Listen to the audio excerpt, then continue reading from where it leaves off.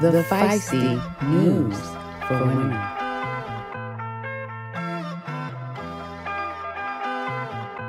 Hello and welcome to the Feisty News for Women. I present important women's issues and the feisty women disrupting our society to correct them. Today is February 6, 2022. Here's the Feisty News for Women. February 6th is International Day of Zero Tolerance for Female Genital Mutilation. Female genital mutilation is a surgical procedure that removes the woman's clitoris so that she can no longer experience the pleasure associated with sex.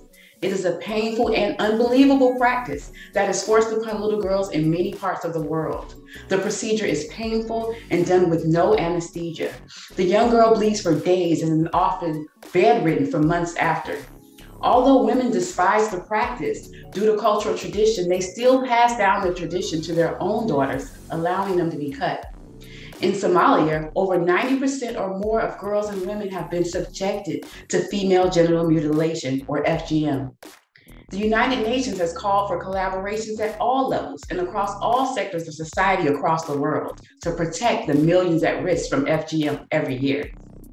In collaboration with the Ifrah Foundation, the UN agency launched the Dear Daughter campaign as part of the effort to end FGM once and for all. The idea is to get individual parents not to cut their daughters. Through letter writing, they pledge instead to protect them and support their right to govern their own bodies.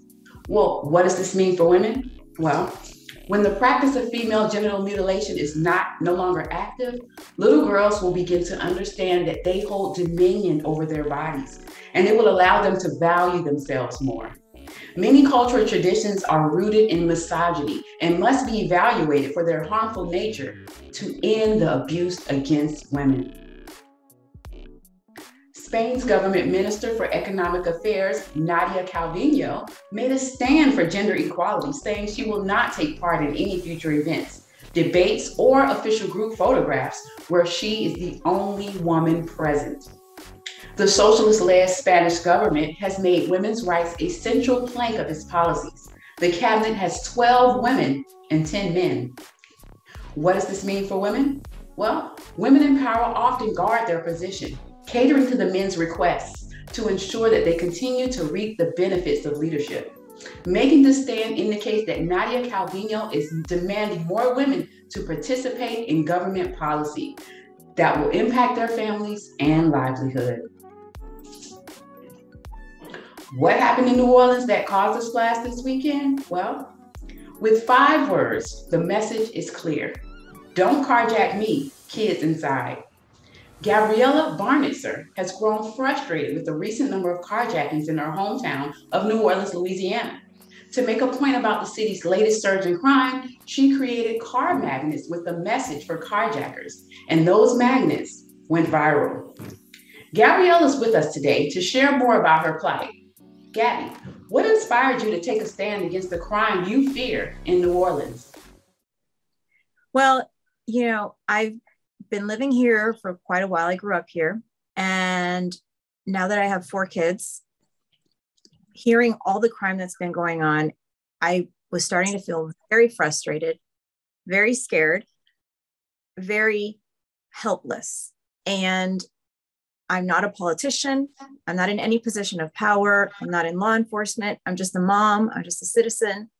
And I was frustrated because I felt like I couldn't do anything. And it's very scary. You can't do anything, even get gas, go run an errand without feeling, you know, like something could happen to you that's dangerous.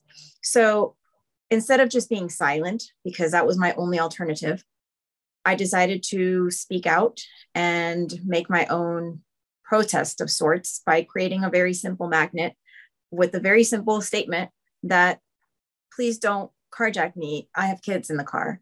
And it wasn't in any way, my intention wasn't for that to be a deterrent or for, you know, I wasn't thinking, oh, this is going to stop somebody from carjacking me necessarily. It was more of a, a scream, a plead, you know, a statement um, to everyone around here that says, this has to stop. You know, we need to do something about this. And it was my personal way of shouting that out.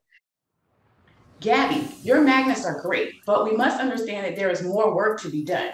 Do you have any thoughts on what could actually reduce the crime in the city? You need to start with early childhood education, with you know mentorship, with extracurricular activities for kids, opportunities. You know, because it's not going to solve the issue. It's going to curb the current crime spree, but it's not going to solve the issue. I don't think. Thank you, Gabriella. We need more women like Gabriella to take a stand and voice their opinions to improve our society. To purchase the No Carjacking Magnet, visit Gabby's online store at frustratedmom.com. YouTubers attack celebrities? Why are women of age quitting their jobs in record numbers? I'll be right back with the answer to these questions after the break. Hi, I'm Angelica Maria Chesimois, founder of Omekwa, and I have a very important message to share with you. What you've been told about self care is wrong. Now, I learned the truth about self care when last year I went through a three month long depressive episode. It was difficult, and none of the typical things you hear about self care, like affirmations, nights in, spa days, none of that was working for me. But I learned that there are three main pillars to self care that I use to bring myself out of it, and that's your body, your mind, and your spirit. So, with this in mind, I created the self care success system.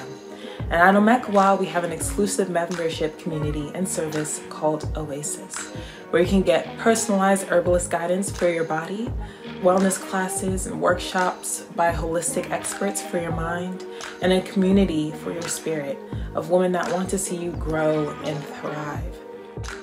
Go to omekwa.com where you can take our free self care success assessment and find out the five steps to build your core pillar and create a lifestyle you deserve.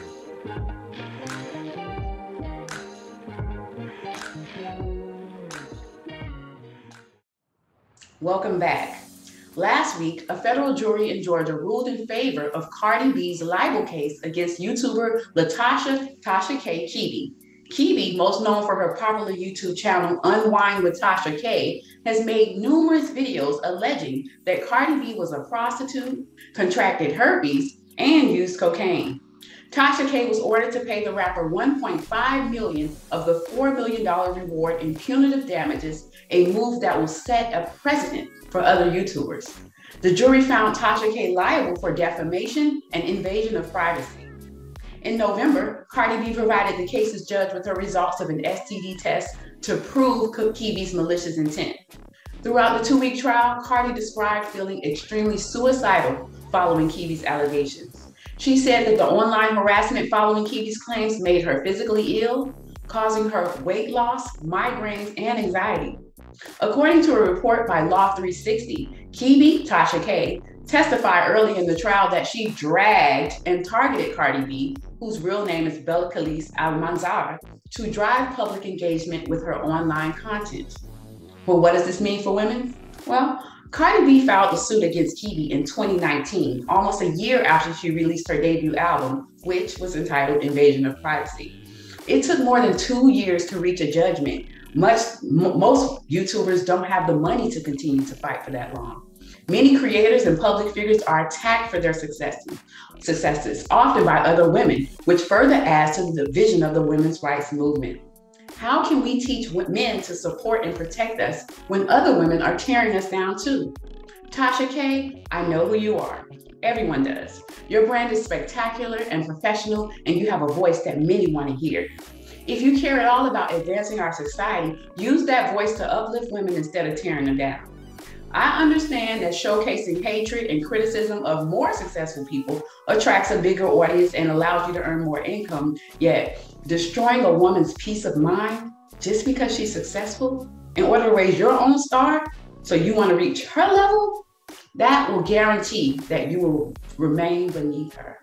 If you want to rise to her level, ask for an interview or do something great in this world.